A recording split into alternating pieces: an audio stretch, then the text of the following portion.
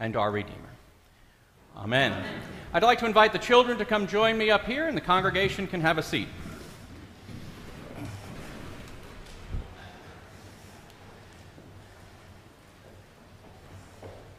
Come on up.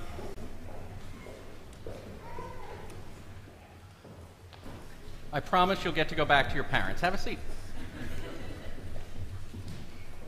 I won't keep you long. A couple more. All right. All right. Well, I have lots of helpers, so this is this is great. So here we are, and it's Easter, and why are they laughing? Which one? Oh, it's Christmas Eve. Got it. Okay. And so it's, sorry, it's Christmas.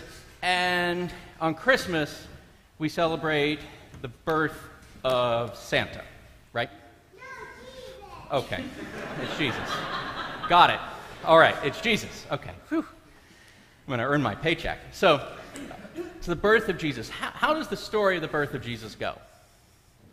We just heard Deacon Sue read it in a really formal way, but you can tell me, how, do you, how did the birth of Jesus happen? Well, the angel went down and told Mary that. Hang on. Go ahead. The angel went down and told Mary that she was going to have a son, mm-hmm. and she was going to name him Jesus. Right. And so they went into like. So they went and she gave birth to him, and he, she laid him in the manger. And then an angel went down and told the shepherds to follow, I think, follow the star to where they were. Close. And You're good. No, you're good. You're really good. You're really good. You're doing my job for me, so this is great. What else? and then they went there, mm-hmm. and then they honored Jesus. Yep. I think. Yeah, oh, they did. They honored Jesus. Yeah. Yeah. Yeah. So they honored. Well done. Thank you, Emma. Bravo. Good job, Sunday school teachers. So you got the star right. They followed the star. There's the wise men who followed the star, and they also came and they brought. Do you guys remember what the wise men brought? We didn't hear the story today. Yep. Gifts. And what kind of gifts do they bring? Gold. Yep. Anybody else remember? There's three gifts. Not silver. Gold. Yeah, oil, myrrh, yep, and frankincense. Gold, frankincense, and myrrh. We'll get to that story another day. But they brought gifts to Jesus. And the shepherds, thank you, came to, were, were told by the angels to go to see, to see Mary and Joseph and the, and the baby Jesus who were in a manger, which was, they couldn't stay in a hotel, they couldn't stay in a friend's house, they were stuck outside in like a shed. Uh, and, and so, but they went to visit them. Because then, why did they bring gifts to Jesus? Why did the, the shepherds and the go ahead? Because he's Son of God. Awesome. Great job. And, and so they brought gifts to the Son of God. And, and, and so, what does the Son of God teach us? What's the most important thing Jesus teaches us? To honor God. And how do we best honor God? By doing good things, helping him forgive our sins. helping Him forgive our sins. There's one word I'm looking for. Praying. Yep, praying is a good one. There's one word I'm looking for. Believing. That's we're getting there. We're getting there. the one word I'm looking for is the word love. This Jesus is God, God made real. That's the, that's unconditional love, extravagant love, abundant love for all of us made real in one person. And he teaches us that we have to love to love others. And one way at Christmas we do that is by giving gifts to people, right? How many of you get gifts at Christmas? Yeah? All right. How many of you give gifts at Christmas? All right. And why? And who do we give gifts to? Go ahead. Our friends, yep. Who else? Family, people we love and we care and we care about and we cherish. And and we are as Christians, as followers of Jesus, we're asked to go be people of love, to be gifts of Christmas in the world. And we give gifts to people because they are because they are special to us. And all people are, are all of God's people are special and loved by God and should be treated and loved and respected by, by us. And because you guys are so special, And because we love you, my friend Lydia has a Christmas gift for you to take with you as you make your way back. Merry Christmas to all of you, and may you know that you are special and loved by God. And that, that gift that Lydia has is just a small token of our love for you. So go ahead, get your gift from Lydia, and make your way back. You're welcome. Thank you. And thanks for your help. You did an awesome job. Thank you. So, the story I'm going to tell you is a.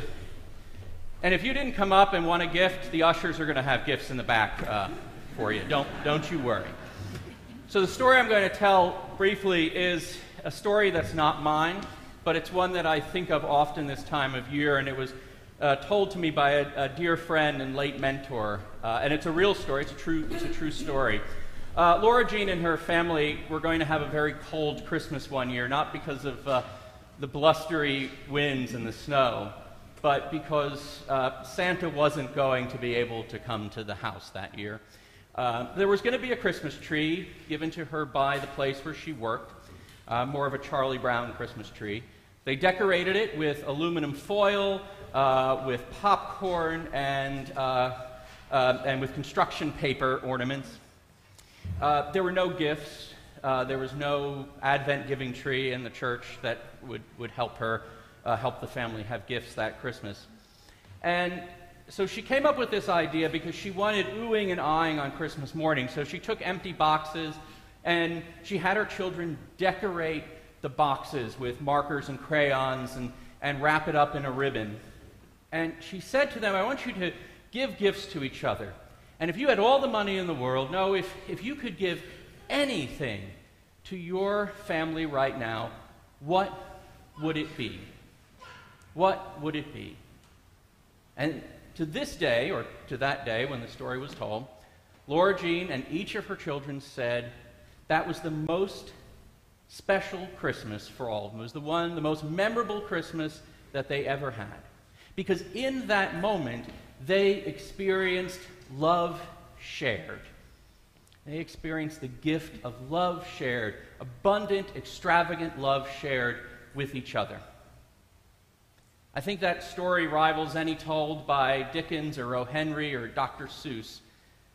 I think it actually mirrors Christ's own story. Somehow, for that family in that moment, in that moment, they mirrored they mirrored Christ's own story. They mirrored that first Christmas, that first Christmas when God came into the world, into his world, in the person of, of Jesus. Laura and our God answered the question what could we give if we could give anything the same way? and they each gave the gift of extravagant love. And God's gift, God's love, was Jesus Christ, wrapped not in bright colors, but in bands of well worn cloth.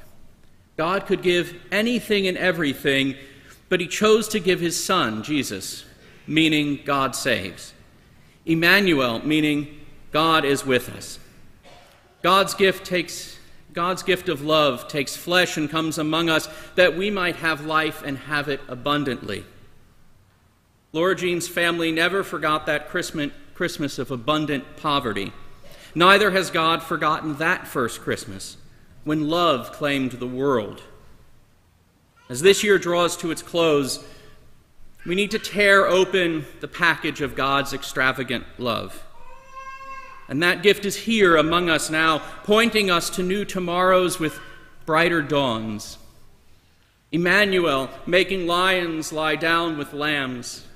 God's love enabling us, the people of God, to be gifts of Christmas ourselves, to be generous in our abundance, and resolute in our commitment to justice and righteousness for all people, all because a child was born. If, if this sounds improbable to the point of impossibility, remember God urges us to think big just as Jesus shows us how to love big, urging us to offer that love to one another, to be gleefully unwrapped.